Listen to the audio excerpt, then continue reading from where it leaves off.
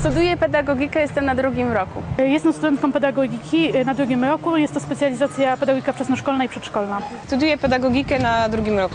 Od zawsze myślałam o tym, żeby studiować pedagogikę, a SGGW wyszło przez przypadek. Akurat y, nie chciałam tutaj studiować. Na początku chciałam studio- studiować medycynę, później się y, zdecydowałam na psychologię, a na sam koniec wylądowałam akurat na pedagogice. Od razu, bo wiedziałam, że ta specjalizacja jest tą, którą chcę wybrać. Nie mam jakiegoś szczególnie ulubionego przedmiotu, gdyż y, jest bardzo dużo ciekawych przedmiotów, jak na przykład wprowadzenie do pedautologii, czyli nauki o nauczycielach, współpraca z rodzicami, już takie konkretne, prawo, pedagogika socjalizacyjna, mnóstwo teraz takich kierunków i wykładowcy są naprawdę świetni i dobrze dobrani. Pedautologia jest y, z panem Płyską, który jest bardzo genialny i kompetentny i potrafi nam wszystko wytłumaczyć.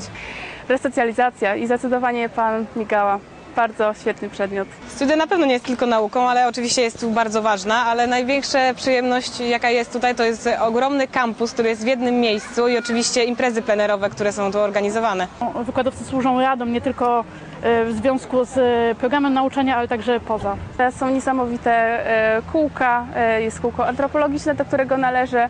E, Są e, niesamowici wykładowcy, e, których bardzo lubimy. Studia na SGIW to nie tylko nauka, ale także doskonalenie umiejętności organizacyjnych. Studia to również zabawa, niesamowici ludzie, e, imprezy, przyjaciele, akademik i w ogóle same przyjemności. Spotkanie ze znajomymi, tworzenie różnych akcji, współdziałanie.